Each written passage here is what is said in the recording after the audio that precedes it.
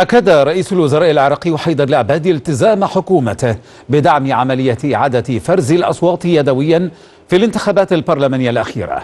تأكيد العبادي جاء تزامنا مع بدء مفوضية الانتخابات فرز الأصوات في محافظة كركوك بعدما خلص تقرير حكومي إلى مخالفات واسعة النطاق شابت العملية الانتخابية.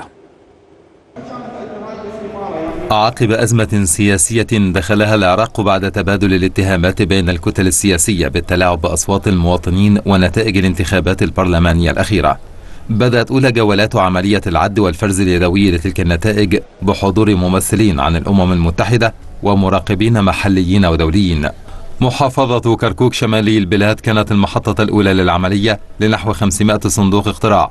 أثير بشأنها مزاعم تزوير ومن المتوقع أن تحذو ست محافظات أخرى على الأقل حذوها في الأيام المقبلة. كما تشمل العملية أصوات الناخبين بصورة كاملة لمكاتب انتخابات الخارج في كل من إيران وتركيا وبريطانيا ولبنان والأردن والولايات المتحدة وألمانيا بعد نقل الصناديق إلى بغداد.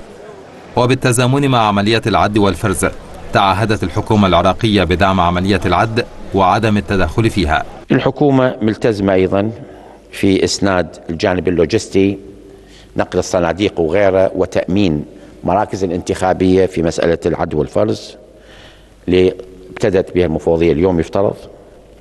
ونتطلع إلى أتمامها بأسرع وقت حفاظا على أصوات الناخبين وسلامة العملية الانتخابية. إحنا ما نتدخل بالطبع بالعد والفرز مو مسؤوليتنا.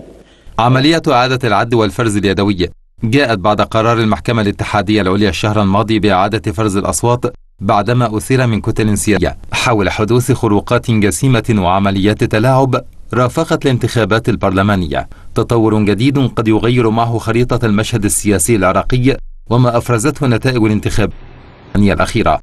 وخطوة تقرب البلاد من تشكيل حكومة جديدة تأخرت لأسابيع.